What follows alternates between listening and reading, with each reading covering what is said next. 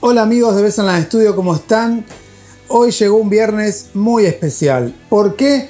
Porque les voy a presentar una nueva canción de una gran banda. Acaba de salir Now and Them, una canción de los Beatles, así increíblemente como suena, una nueva canción de los Beatles que ahora les voy a contar la historia de cómo se realizó y que yo nunca creí que iba a tener la oportunidad, que la vida me iba a dar la oportunidad de presentar una nueva canción de los Beatles.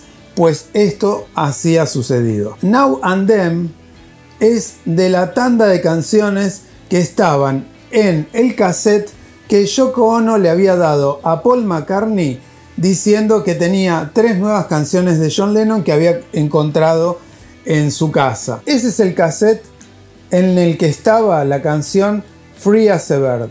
Es el mismo cassette que contenía tres canciones. Free as a Bird, como ustedes recordarán, es el single que se editó en 1995 en el que participaron los tres Beatles que quedaban vivos, George, Paul y Ringo, y que fue lanzado en ese año. Dentro de ese cassette estaba también Now and Them. ¿Cuál fue el problema? Que esa canción tenía la voz y el piano muy emparentados, o sea, casi en el mismo plano, con lo cual era muy difícil separar la voz de Lennon del piano y el piano no se escuchaba bien tampoco, porque eran demos que eh, John Lennon había grabado en los 80 con una porta estudio. Ese era el gran tema. No tenía un sonido fabuloso, digamos, y estaba todo mezclado en un solo canal. La producción de Free as a Bird la hicieron los tres Beatles que quedaban más el productor Jeff Lynne. Ahí, en esa sesión, decidieron que no había posibilidades de separar bien la voz del piano en Now and Them, entonces esa canción, después de muchos esfuerzos, finalmente fue abandonada. ¿Cómo es que esta canción pudo realizarse hoy solo quedando dos Beatles, que son Ringo y Paul? Bueno, esto funcionó de la siguiente manera.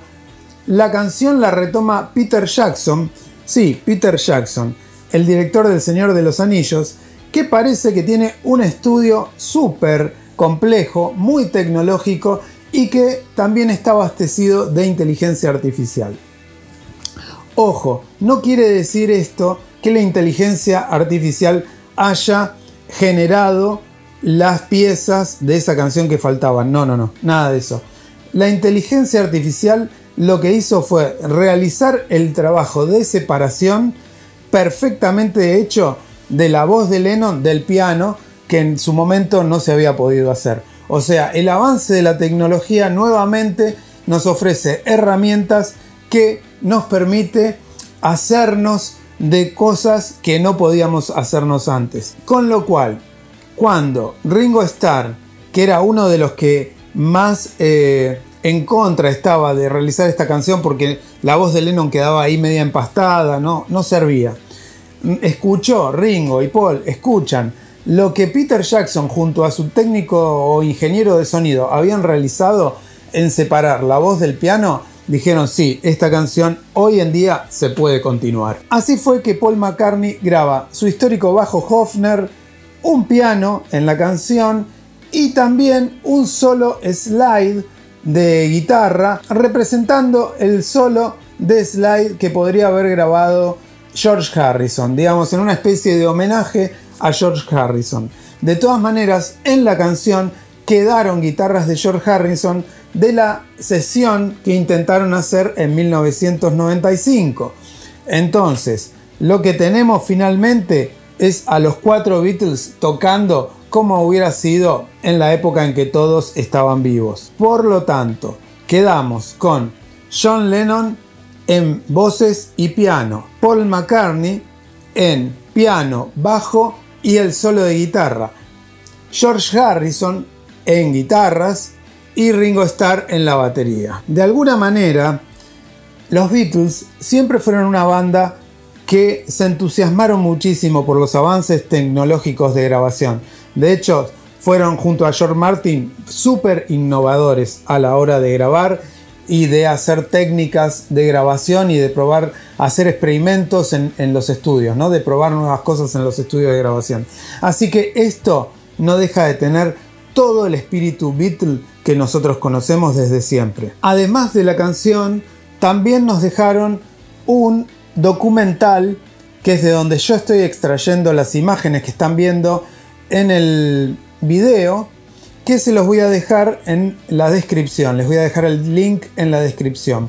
Pero también hoy viernes se estrena un videoclip de la canción que si ya está listo a la hora de editar el video también se los voy a dejar en los links. Como si esto fuera poco, Paul McCartney quiso incluir cuerdas dentro de la producción Now and Them.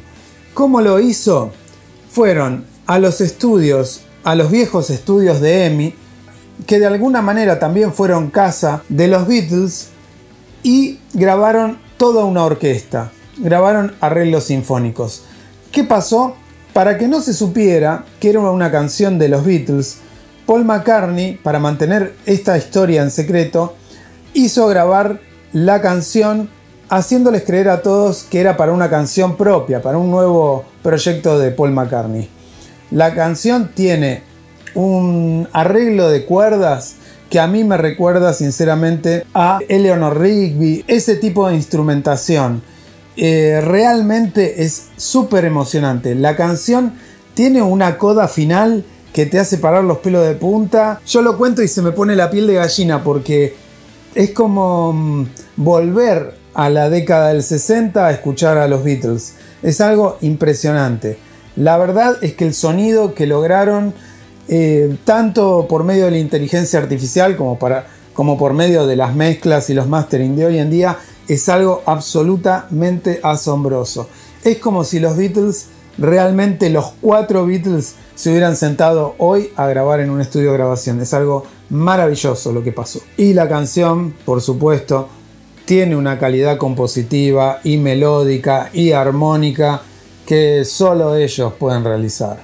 La verdad que es como si hubieran estado ahí. Siguen siendo no sé, una de las mejores bandas de rock de todos los tiempos. Así que bueno, de aquel viejo cassette que John Lennon le había regalado a Yoko Ono con Free as a Real Love y Now and Them, ahora sacaron la canción que en su momento no habían podido hacer, que era Now and Them, y tenemos este regalo maravilloso que podemos disfrutar ahora sí en todos lados, tanto sea redes como este, plataformas de streaming, YouTube, etc. Pero no me voy a ir igual sin dejarles una nueva banda de viernes para que hagan la tarea, así que no se me van a escapar. Como todo tiene que ver con todo, dijo Pancho Ibáñez, les voy a dejar una banda relacionada, muy relacionada con los Beatles, de Claypool Lennon Delirium que es una banda impresionante de rock psicodélico y progresivo que podría tranquilamente haber sido los últimos discos de los Beatles, los últimos proyectos que hubieran tenido los Beatles si hubieran seguido juntos, están en esta banda. Estamos hablando de Les Claypool, el bajista de eh, Primus, de la banda Primus, y Sean Lennon, o Sean Lennon, como se pronunciaría, digamos que es el hijo de John Lennon y Yoko Ono. Este muchacho ya viene haciendo música desde los 90. Yo tuve la suerte de verlo en vivo cuando toqué en un festival de pop art, en el primer festival de pop art junto a mi antigua banda Transmundial. Bueno, ese día pude ver en vivo a este pibe que la rompe mal y que tiene la misma cara que Lennon, o sea, te da impresión verlo porque la voz, la forma de tocar, la forma de componer y su fisonomía es igual a Lennon, es impresionante. Al margen de esto, él arma una banda con Les Claypool y la verdad es que son tremendos, un nivel melódico alucinante, un nivel instrumental tremendo, que se las voy a dejar en la descripción. Así que este fin de semana yo les recomiendo lo siguiente. Cuando llegue la hora dorada, la hora de la caída del sol, este fin de semana se me sientan con una picadita, una buena cerveza de buena calidad a mirar por la ventana cómo el sol se va por el horizonte y primero se ponen la canción de los Beatles Now and Them, que es algo impresionante, que los va a hacer llorar, y después de secarse las lágrimas, se ponen los discos de Les Claypool y John Lennon.